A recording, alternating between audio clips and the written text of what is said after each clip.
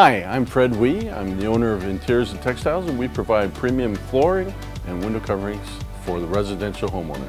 In the area of flooring, we provide carpet and area rugs. In hard surface, provide hardwood, bamboo, cork, luxury vinyl plank, and marmoleum.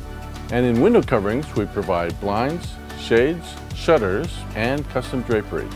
So overall, we have a wide variety of colors, textures, patterns, fabrics, you name it. So I invite you to come in and let us help you with your next project.